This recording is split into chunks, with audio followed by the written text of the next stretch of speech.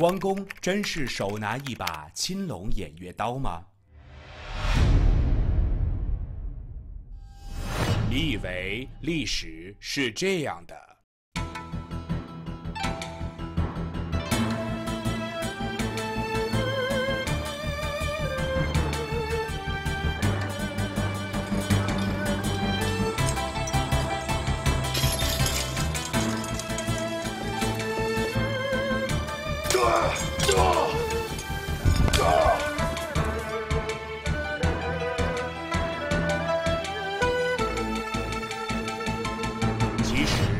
历史是这样的。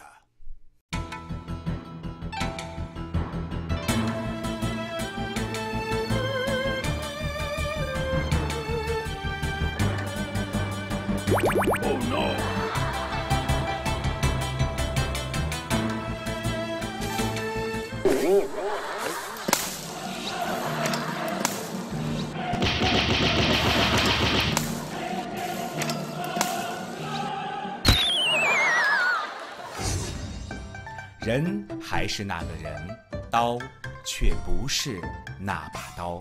三国时期，关羽实际上是白脸，所用的武器也不是青龙偃月刀，真正使用的可能是长矛和坡刀。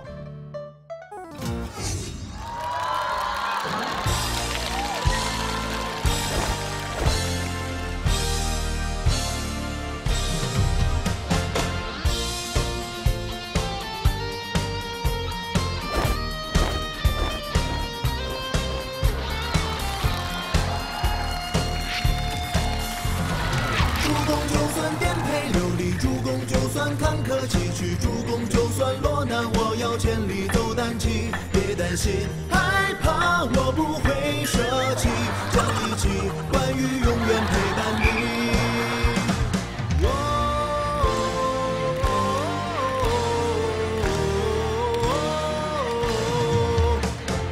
我的一生起起伏伏，也做过战俘彷徨时，我也想过像曹操，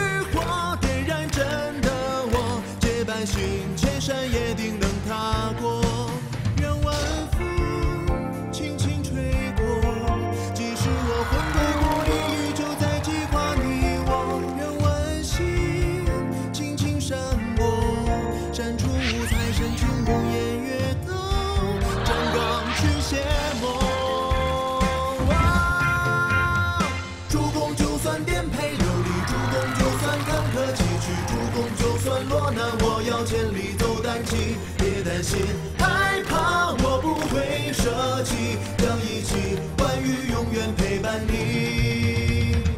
主公就算颠沛流离，主公就算坎坷崎岖，主公就算落难，我要千里走单骑。别担心，害怕，我不会舍弃，将一起，关于永远陪伴你。主公就算颠沛流离，主公就算坎坷崎岖，主公算落难，我要千里走单骑。别担心，害怕，我不会舍弃，将一起，关于永远陪伴你。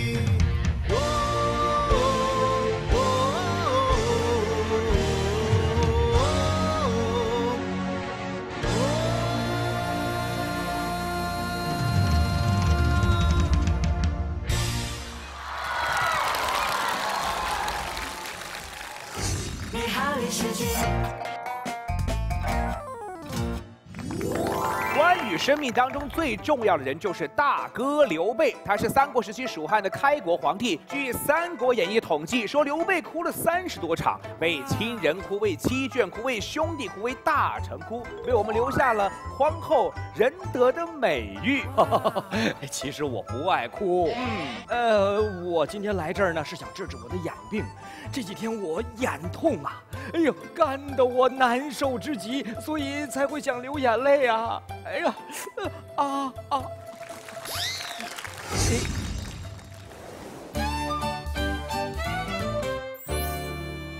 我的重疾欧巴死了，好伤心！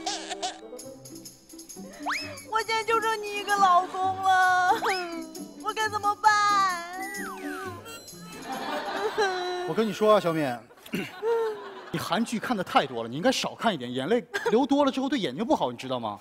那那我眼睛会有什么事情吗？得无泪症啊！哎，这位医生，哎呀，医生啊，你真是神机妙算。今天我到这儿来啊，就是想看看我这个无泪症，眼睛太难受了。无泪症，刘备，仁德布天下的三国时期的蜀国开国皇帝。皇叔，你快坐这边休息。刘敏，自己坐。能不能矜持一点？皇叔，哎，我觉得无泪症的根本问题是在你的心里。心里对呀、怎么可能啊？你看刘皇叔是仁爱之心，嗯，你泪点低呀、但是你哭多了之后眼睛流干了。泪点低，不可能，不可能，不可能对呀、我们皇叔是铁骨铮铮的汉子。啊！这句对。比方说啊，你当时送徐庶的时候，你就为了多看徐庶一眼，你砍掉了整片山上的树。主公，原旨此去曹营，你放心，我定不会为那曹贼献一计一策的。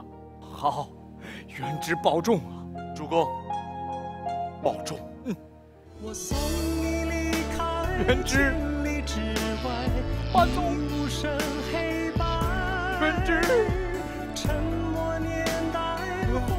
呐！树挡住了我的视线，把这树砍了。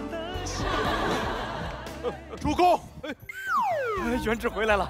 主公，这树能长得如此大，实属不易。啊不要砍了呀！啊不就是看不见我了吗？啊！我换条路便是了。哎，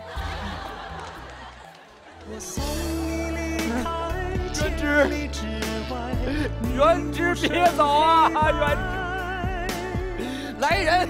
这假山挡着我视线，退了。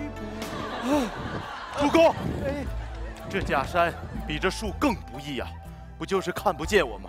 换条路便是了。带走啊，元直。离开千里之外，你无声黑白。主公，哟，元直你回来了前面没有路了，你还是砍树吧。啊！送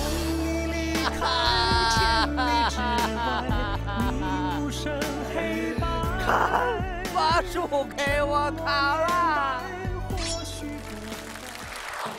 徐庶是第一个投靠刘备麾下、比较有文采武略的人物，非常受到刘备的重视。徐庶别去，刘备送了一程又送一程，临泪而望，却被一树林隔断。玄德以鞭指曰：“吾欲尽伐此处树木。”众问何故？玄德曰：“因卒勿忘徐元直之墓也。”哼，你太勇敢了，我好爱你啊！这样，这样，咱们两个一人喝一杯养乐多，哎这样呢养养身子，你知道吧？来，我们来小，敏，干嘛呢你？现在还在诊疗中，你是不是吃醋了？你真想多了。哎，大夫，大夫，大夫，你呀、肯定是误会我了。你看皇叔，如果说我误会你了，那当时庞统攻城战死沙场的时候，你不哭得稀里哗啦的吗？是。报！庞军师于攻城之时遭人埋伏，亡于落凤坡。庞军师身先士卒，战死沙场，传我旨意。嗯传我旨意，封他为关内侯，谥号景侯。可惜了，一代凤雏军师竟然落得如此的下场。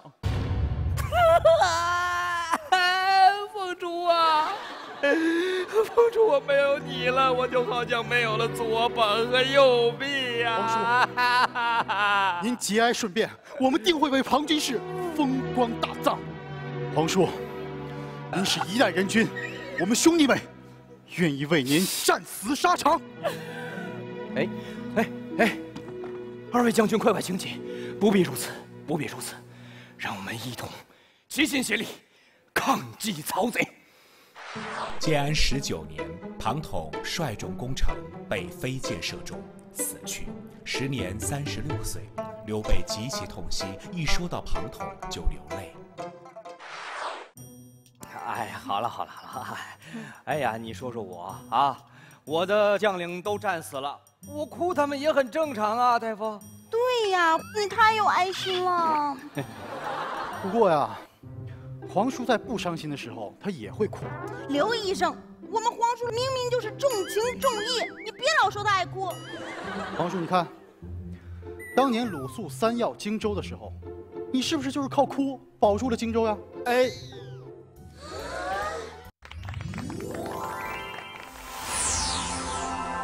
东吴使臣鲁肃求见。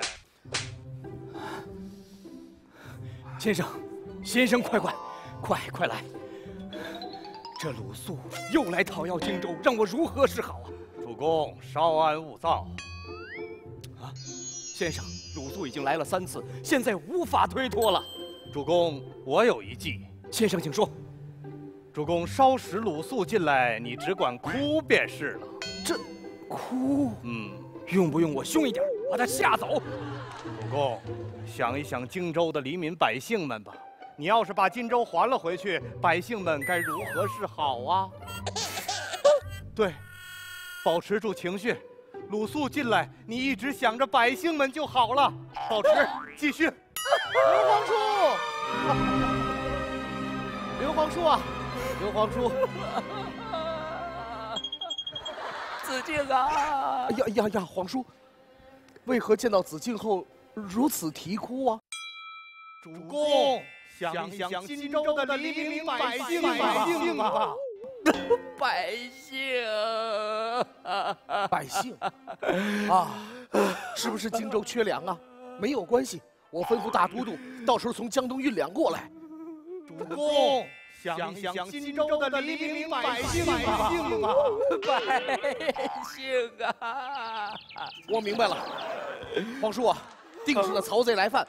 您放心，我江东兵强将广，一定想方设法帮皇叔击退曹贼。主公，想想荆州的黎民百姓吧。百姓啊！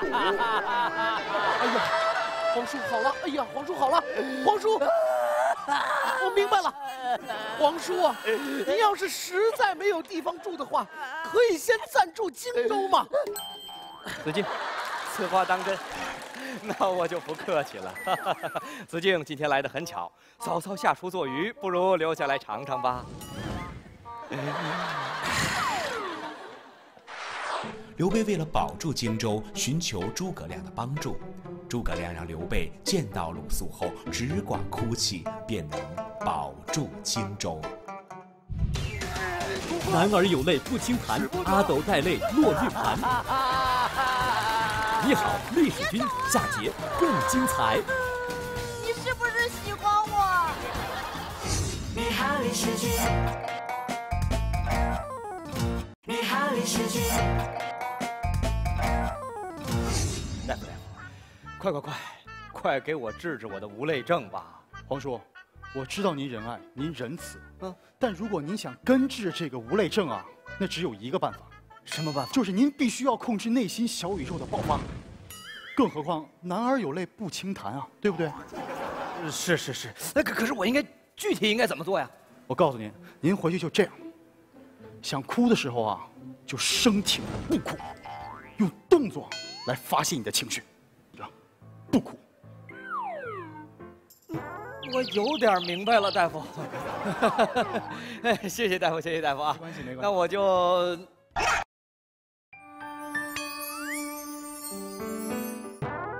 那我就告辞了，大夫。嗯，告辞告辞。王叔，你走了，你别走啊！啊！别哭了，下班了。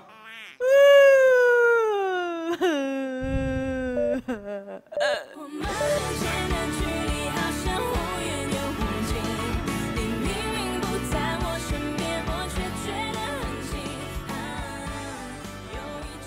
你是不是喜欢我？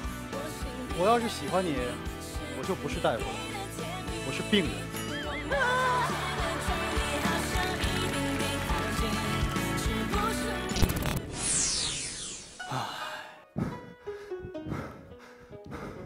主公，夫人她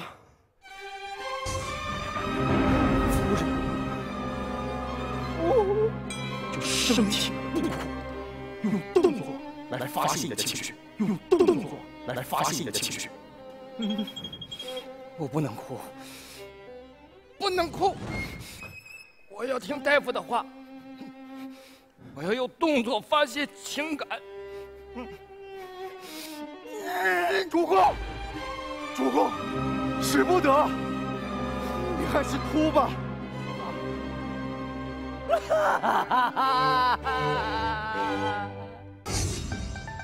刘备志向远大，在乱世中揭竿而起，与关羽、张飞结义于桃园之中。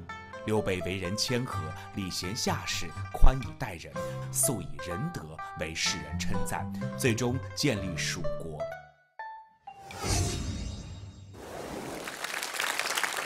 谢谢。哎，秦局长，都说男儿有泪不轻弹哎，这刘皇叔也太爱哭了吧？人家那个叫情感细腻，OK，因惜才而流泪，所以用咱们现代的话总结就是，刘总一定是一个特别关心自己员工的好老板。哇哦！可是作为这一代君王，光靠仁义就能成就一代霸业吗？当然不可以。刘备是一个在逆境当中创业型的君主，所以在创业初期，人家和关羽、张飞结成了桃园结义群。在之后的创建霸业的过程当中，这两个弟弟可以说是成为刘备的左膀右臂。当曹军南下的时候，他和东吴结成了抗曹群，以少敌多，在赤壁是大败曹军。相传说卧龙凤雏得一则可安天下，但是人家刘皇叔是将卧龙诸葛亮和凤雏庞统通通的拉进了自己的朋友圈，可见刘皇叔的朋友圈各种能人志士那都是齐聚一堂。嗯，那我懂了。这刘皇叔呢，既不像曹操一样挟天子以令诸侯占得了天时，嗯也不像孙权一样长江天堑占得地利。没错，他呢是以这个仁义赢得了贤臣如云的朋友圈，也就是占得了人和。所以我想，这就是刘备之所以能让关羽一路追随、忠心不二的魅力所在吧。那关羽精神呢，一直是被各朝各代所崇拜。像蜀汉时期呢，关羽被封为了前将军；那到了宋朝，被封为了武安王；明朝时封呢三界伏魔大帝；到了清朝，再一次被十次加封。直到光绪五年，关羽的封号呢，只打了二十四个字：忠义神武，灵用神勇，危险保民，京城绥靖，尽赞宣德，关圣大帝，真可谓是旷古未有，令人惊叹啊！谢谢我们的历史小助手。其实我们很希望每堂课各位观众能够和我们一起走进历史、演绎历史、解读历史，并且还原历史。你会发现历史原来如此的有趣。今天大家好，欢迎来到法国华人卫视。